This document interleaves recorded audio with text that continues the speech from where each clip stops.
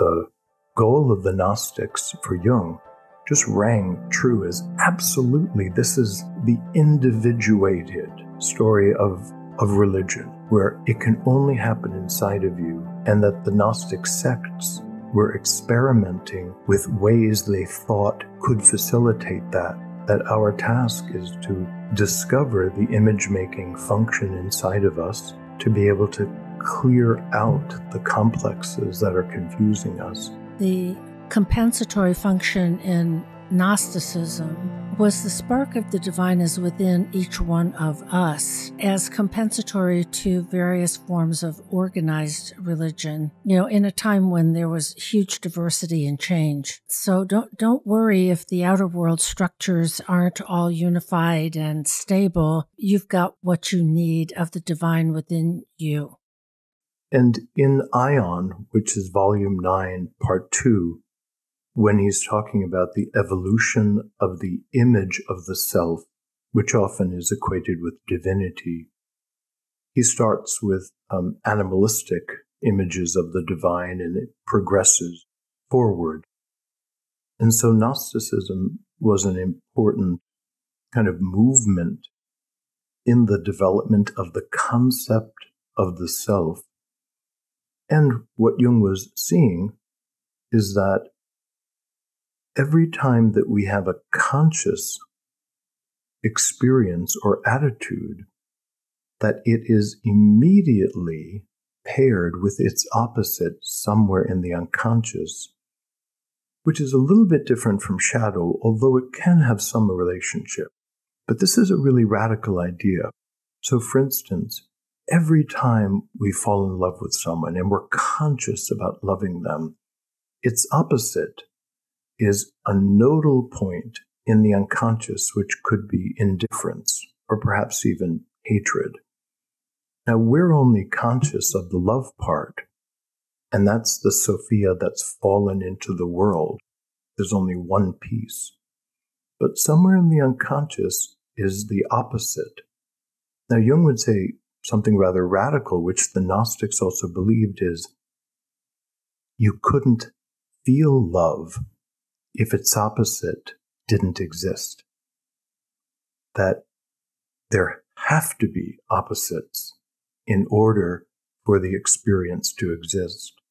So it is the tension between love and indifference that actually creates consciousness and that both are required even though only one might be held consciously. Now, that can seem strange to us, but our dreams will often help us experience this because we talk about compensatory dreams. So I love, love, love, love, love somebody. Oh my goodness, we're perfect, we're divine. And then we have a dream about walking in on into the bathroom accidentally with our beloved on a toilet and we're disgusted, which is like not at all what you're thinking about consciously. But the opposite is being offered because, in terms of psychological hygiene, both of these things need to be held in order for us to not be in a state of splitting. Mm-hmm it, it's really um, very interesting that the um, compensatory function in Gnosticism, as I'm uh, just at the edge of learning, was the spark of divine of the divine is within each one of us as compensatory to various forms of organized religion you know in a time when there was huge diversity and change um, so don't don't worry if the outer world structures aren't all unified and stable. You you've got what sh- what you need of the divine within you. And in individual psychology, when you're madly in love with someone, the compensatory function puts that little spark of that person is also really irritating. inside us. Uh, so that instead of a split, there's hopefully a balance. that if we can acknowledge the dream where to our shock and dismay, uh, we saw our beloved sitting on a toilet. If, if we can take what that means, what that symbolizes of uh, the shattering of an illusion and idealization, uh, and integrate that, then it will save us, hopefully, from just that little part of splitting. That my beloved is all good and all wonderful. Um, that no, it's both. A- and Jung was, I would say, was so core to his theories and work is that there is, is light and shadow. There's love and disgust, irritation, hatred, indifference, a whole list, uh, so that we don't fall into those uh, splits of all one thing and nothing of the other. So, one of the talking about this tension between organized religion, such like Catholicism, versus Gnosticism, is something that Jung actually writes about. Murray Stein does an, an incredible job with this. The collected works of Murray Stein are being published. I recommend them very highly. He's he's such an incredible apologist for Jung's work and makes it come to life.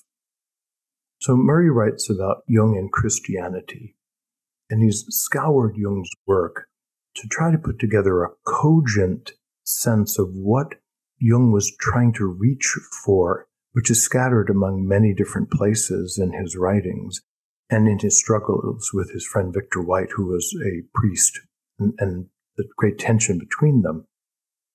But Jung has a sense that religion is changing, which goes to the Max Zeller dream that you have mentioned many oh times, Deborah. that um, there is the ancient idea of the Catholic Church, or the church as an institution, which is not simply Catholicism, by the way, and that that served a purpose. And Jung also um, had a good time with astrology. He talked about the age of Pisces, which is the age of the fish, and the fish was also a symbol of Christ, and that human beings did in fact benefit from all of this structural assistance, even benefited from the enormous amount of rules that were imposed upon them, because rules force us to be conscious. When we think about the book of Leviticus, or even the Talmud, let's say, there are, there are rules for, for every little thing. Now, whether or not that pleases God, I don't know, but for a stage of evolution in human consciousness going from being very instinctive to paying attention and making conscious choices about every little thing helped the growth of ego strength, the growth of consciousness. But Jung said that this is this is ended. This this in in this next eon, human beings are going to outgrow this idea of being told and being given doctrinal things and repeating rituals as a way of imagining that we're having spiritual experiences. And uh, uh, j- just in this moment, because this is related to Gnosticism, um, can you tell that story of the uh, Max Zeller dream? Because it's really relevant. Yeah, I was just going to go back there. And, yeah, yeah. Uh, because um, not everybody will know about it. And it it is a wonderful image. Uh, Jung had um, a patient uh, named Max Zeller sometime uh, right after World War II. And um, Max Zeller was a psychoanalyst um, in California who went to see Jung because of uh, being disturbed by the state of the world, which was right after World War II, was distressing for all kinds of of very big, big reasons. And um, like a lot of us, I, I'm this has happened to me. Uh, he had a dream, and he was about to leave Switzerland, And then he realized that he had forgotten to tell Jung his dream. And he, so he called him up and said, Oh my gosh, I was there yesterday and I forgot to tell you this dream. I can't believe it. And Jung said, Come right over.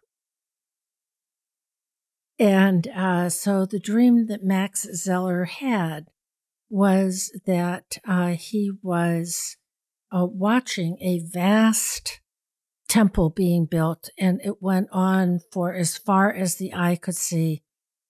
The foundation had been built, the first floor was there, and everywhere people were working on building uh, columns. And each person is working on building his or her own column. And uh, Jung said, you know, yeah, he said, this is a dream people all around the world are having, people you don't know in Russia and India and everywhere. And he said it was a dream of the new religion, um, by which he did not mean a doctrinally organized uh, belief system. But, um, you know, I have loved this dream because it's such a great way of integrating uh, the opposites that we've been talking about of individual development or what Jung called individuation, what the Gnostics um, imaged as the spark of the divine, um, with a, a, communal or collective uh, endeavor. So everyone builds their individual pillar, and it is part of a vast temple so it's a wonderful image of, of both our individual selves and creative energy as part of a greater whole. So Jung, what was it? That yeah, new religions being built take a couple hundred years, but something new is really going to happen. I hope not. and um, and Murray really pulled together from various sources what Jung was imagining that this new religion would look like.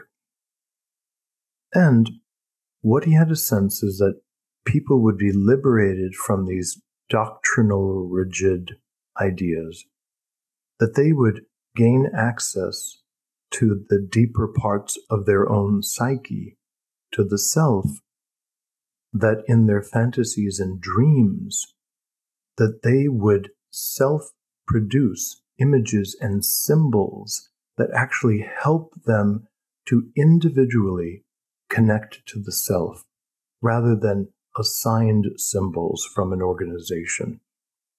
And that this would give them a true sense of their connection to the divine. That would be a kind of gnosis and internal wisdom and knowing that would link them to this transpersonal center, and that through collective sharing of dreams of this nature, that we as a community of humans would generate and share the various images that connect the individual to the transpersonal and that would be the new way, or something like that, the new way that human beings would forge this relationship. And so now we can understand how Jung then brought this into a therapeutic goal, a psychotherapeutic goal, and said the restoration of the ego self axis is the great work of Jungian analysis and is unique and different from other kinds of psychotherapy. That our task is to discover the image making function inside of us, to be able to clear out the complexes that are confusing us, and to begin to discover the images and symbols that are generated by the relationship between the ego and the self and to, through that, have our own kind of personal mythology that works and is active in facilitating this relationship to the deeper parts of us. The language may sound very exalted, but in a practical sense, this is what your day to day dreams are trying to do. Your, your every morning dreams are trying to nudge you into this, into this place. And so the Gnostics, or at least the goal of the Gnostics for Jung, just rang true as absolutely this is this is the the individuated story of of religion where it can only happen inside of you and that the gnostic sects were experimenting with ways they thought could facilitate that there's no way for us to know um, through the Nag Hammadi um, fragments whether or not it was or wasn't effective at that time but the goal and the images, that made sense. And we are still trying to find a secret spark inside of things